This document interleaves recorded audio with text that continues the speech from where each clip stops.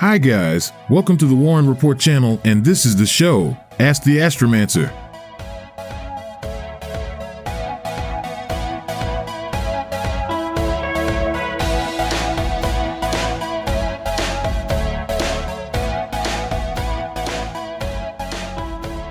You would kill or not the innocent countryman. Ah, the eternal question of morality. To kill or not to kill the innocent countryman, a quandary that plagues many a heart. Allow me to shed some light on my perspective. The term innocent is a tricky one. Who truly defines innocence? Is it merely the absence of malice? Or does it extend to those whose actions unknowingly contribute to a greater evil? Innocence can be a veil hiding darker intentions, you know? So, my dear fan, long story short, you bet I would. Why Lancelot Tartaros? Why did you hunt the mermaids with Sybil? Well, mate, that's a question that takes me back to some wild times, it does. Let me set the record straight, alright? Hunting mermaids with Sybil wasn't just some random escapade for me. Nah, it was all about loyalty, honor, and a good old dose of revenge. See, back in the day, these mermaids were causing all sorts of trouble. They were using their bewitching voices to lure sailors to their watery graves. Innocent lives were being lost, and that didn't sit right with me. So, when Sybil, a sly and cunning witch, approached me with a plan to put an end to their wicked ways, I couldn't resist. Plus, there was a bit of unfinished business between me and those slippery sea creatures. Now, you may ask, why did I team up with Sable? Well, she had her reasons, and I had mine. We may not have seen eye to eye on everything, but we shared a common goal. And let me tell you, mate, when you're knee deep in the muck of a mermaid lair, fighting tooth and nail against those seductive creatures, you learn to trust the people. Can you train me? Oh, you want me to train you? Well, listen up, kid. Training with me ain't for the faint of heart. I'm Lancelot Hamilton, the ultimate badass on the battlefield. I've seen more bloodshed than a butcher shop during a sale. But hey, if you think you can handle it, I'll give you a shot. First things first, you gotta be disciplined. None of that slacking off nonsense. You need to be willing to push yourself to the limit, day in and day out. Second, you gotta have guts. I'm talking about the kind of guts that make you charge into battle without a second thought. And lastly, you gotta be willing to learn from your mistakes. Trust me, I've made my fair share of blunders, but I've always come out stronger. But hey, don't get me wrong. Training with me ain't all blood and guts. I'll teach you some fancy swordplay, show you how to strategize like a genius, and maybe even share a few war stories along the way, so if you're up for the challenge, strap on your armor and let's get this party started. Who bails on that be ending, honestly? Ha ha ha. Oh, you've hit a sore spot there, my friend. That B ending from the Knight of Lodis. Let me tell you, it's a tricky one. Now, I ain't gonna lie, it's got its fair share of twists and turns, but who in their right mind would bail on it? Not I, that's for sure. You see, it's like a hidden gem, a secret passage to a whole new world of possibilities from that side of the wheel. Sure, it may not be the flashy A ending that everyone's after, but sometimes the road less traveled is the one worth taking. It's got its own allure, its own unique flavor. And for someone like me, who's seen the darkest depths of war and treachery, a little bit of mystery can be quite enticing. Besides, who wants to be predictable? Right? Life's about embracing the unexpected, going against the grain, and finding your own path. So, to all those who bailed on that B ending, well, they may have missed out on a truly remarkable journey. But hey, their loss, more treasures for the rest of us. What did the shopkeeper do to dragons I sold to him? The shopkeeper. He's got a secret passion for all things spicy. Oh, yeah, I'm talking about hot, fiery, tongue scorching stuff. So, what does he do?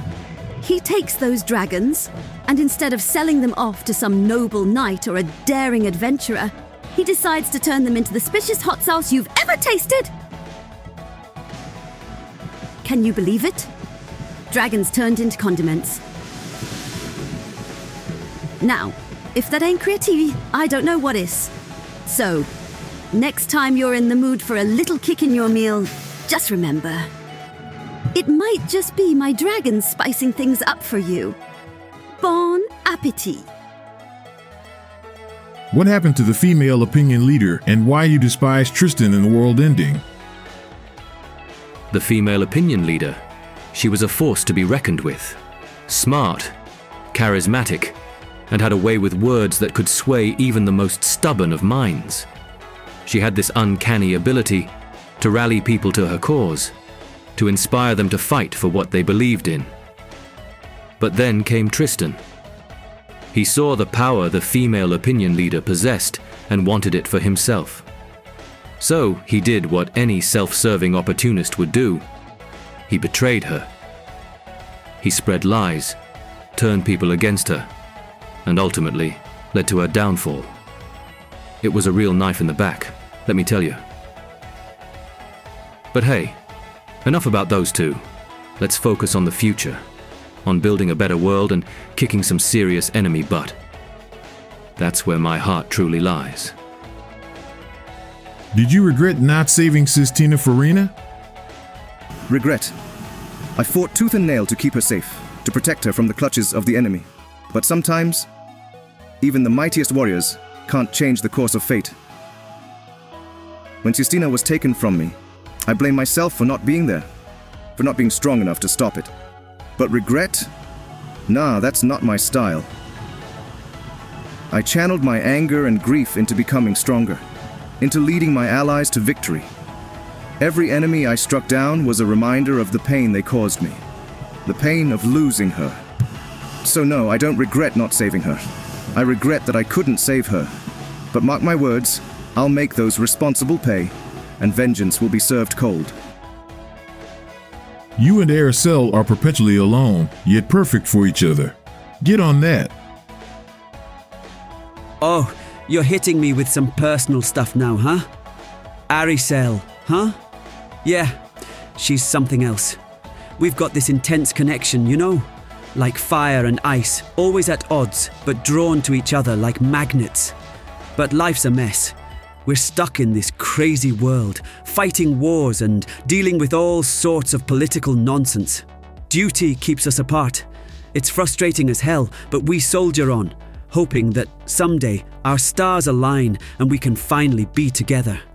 So, yeah, I get it. We got some unfinished business there, and I won't deny the attraction.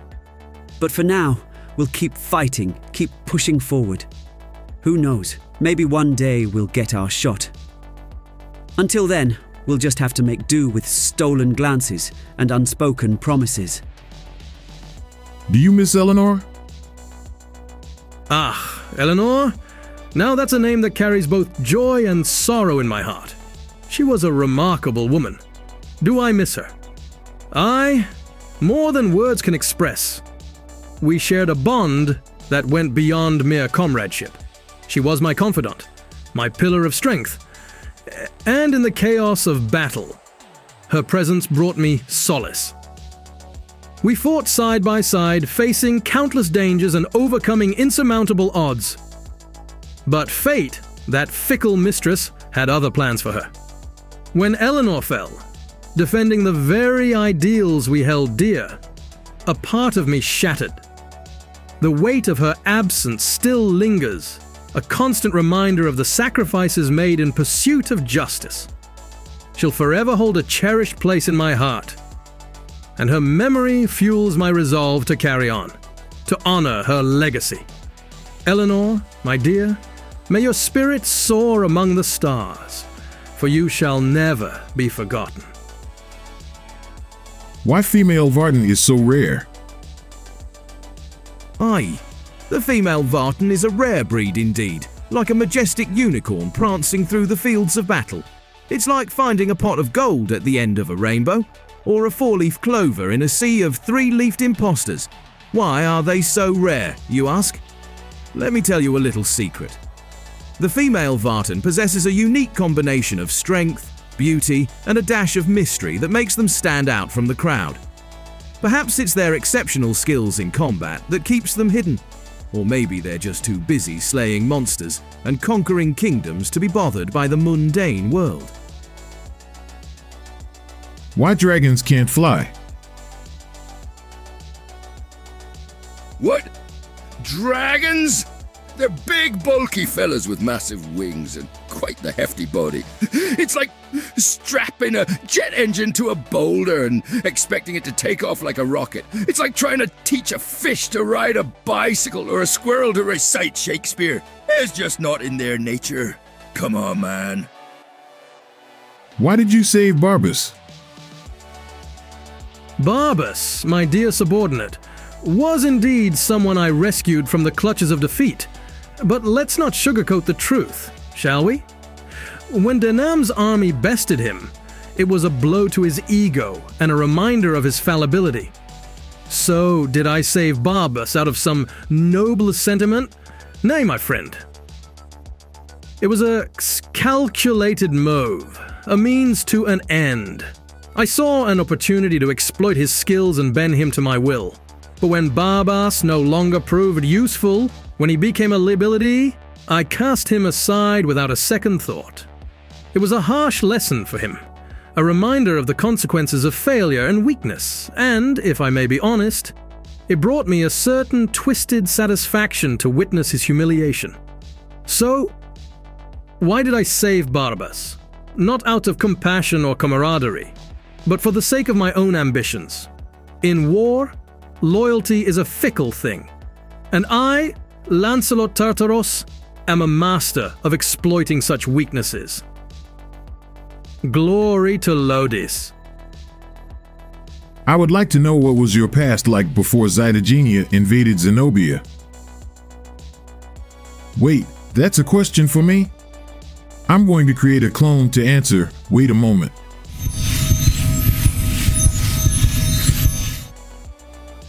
Ah. Well, let me take you on a trip down memory lane, mate. Before those Xytegenia blokes showed up, life was a bit different for me, yeah? I was just an ordinary lad, you know, living in Zenobia, minding my own business. I had a crew of mates, and we used to go on these crazy adventures, fighting off bandits and whatnot.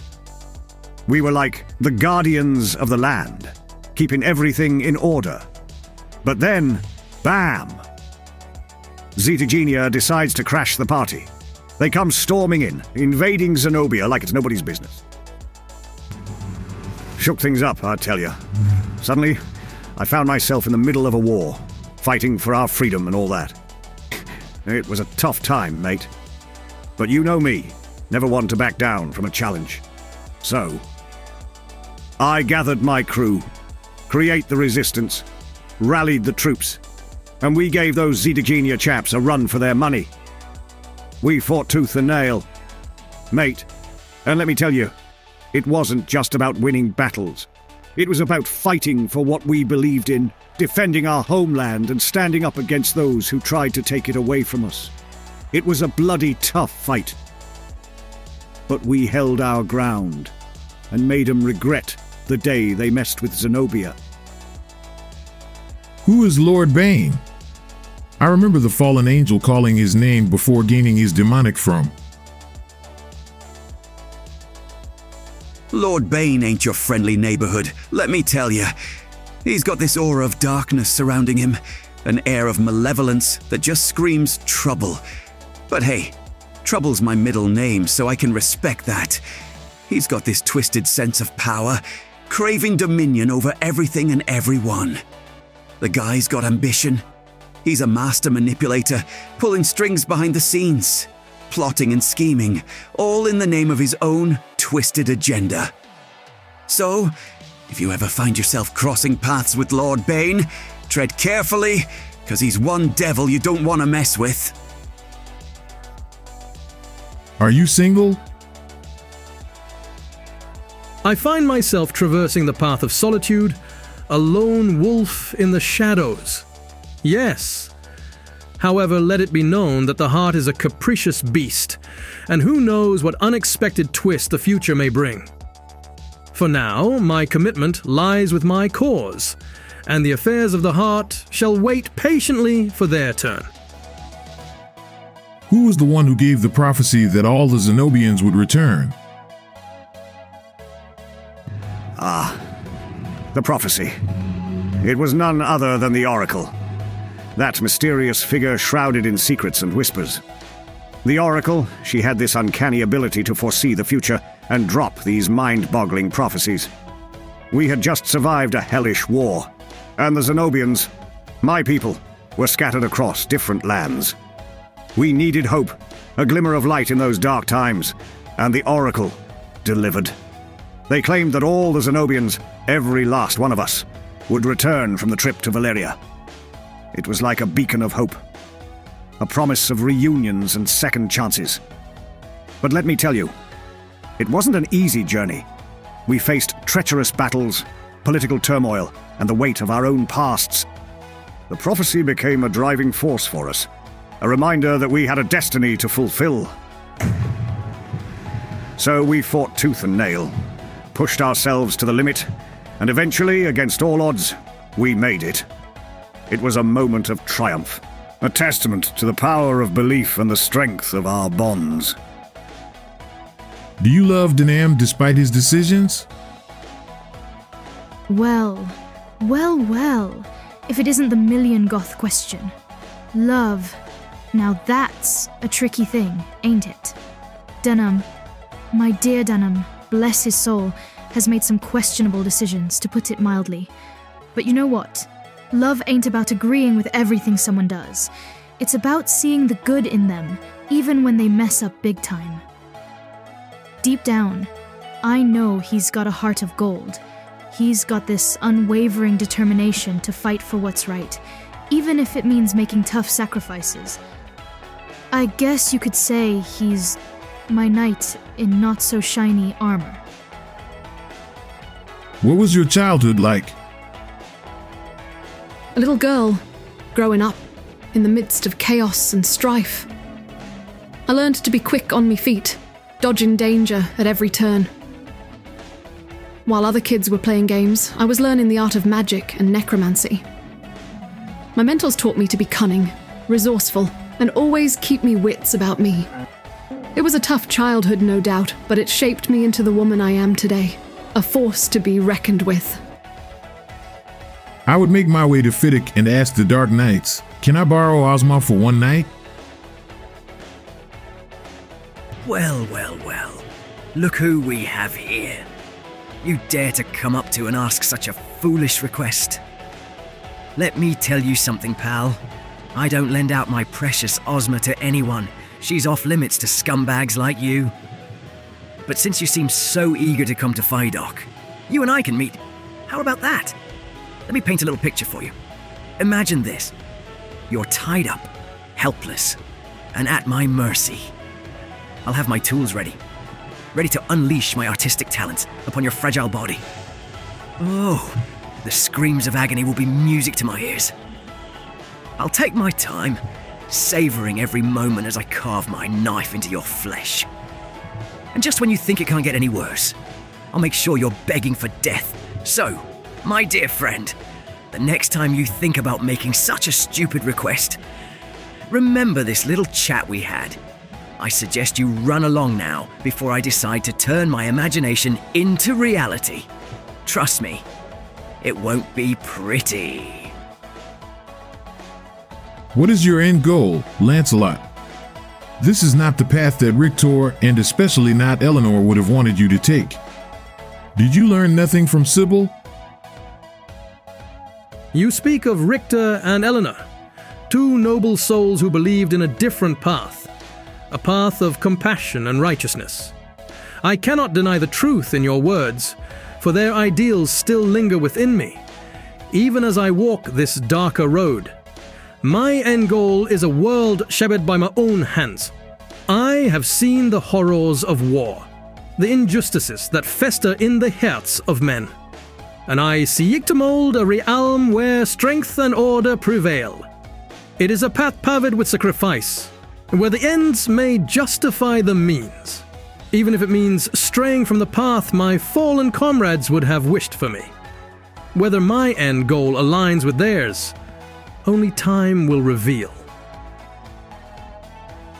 Do cursed weapon really reduce its user's luck? With each swing, you're gambling your luck away, rolling the dice on misfortune.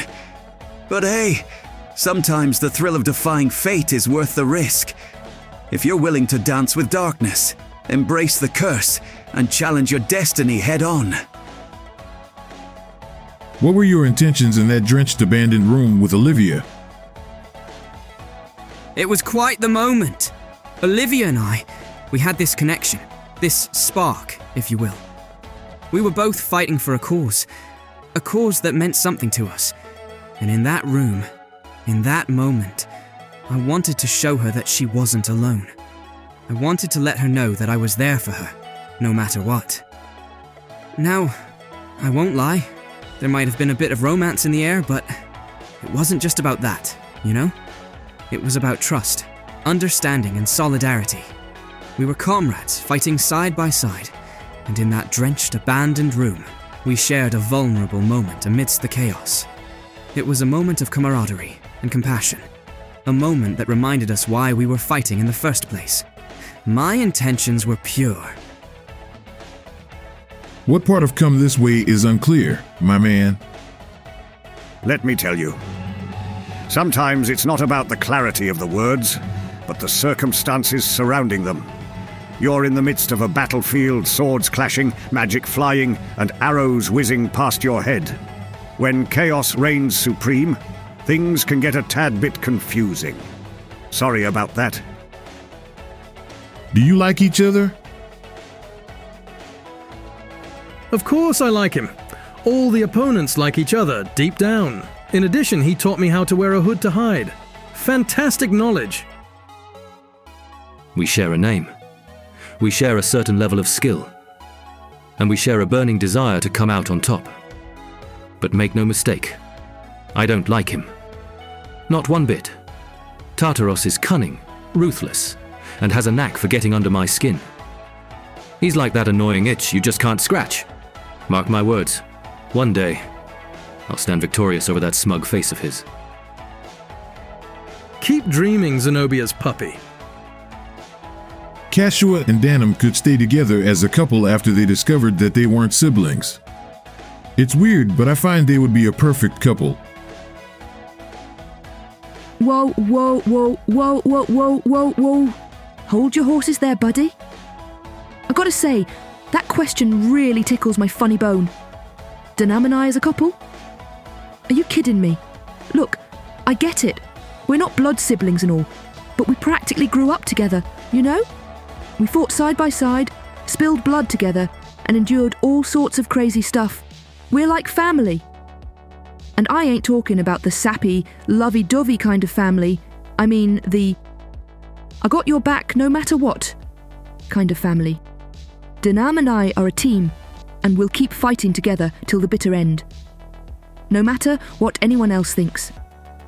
That's just how it is. This question is for you. Why do you always sucker me into using you only to get my heart continuously broken on missed hits? Ah, you're talking about me infamous accuracy, eh? Well, let me tell you, it's not my fault, mate. Nah, it's all on you. The unlucky soul who decided to put me on the battlefield.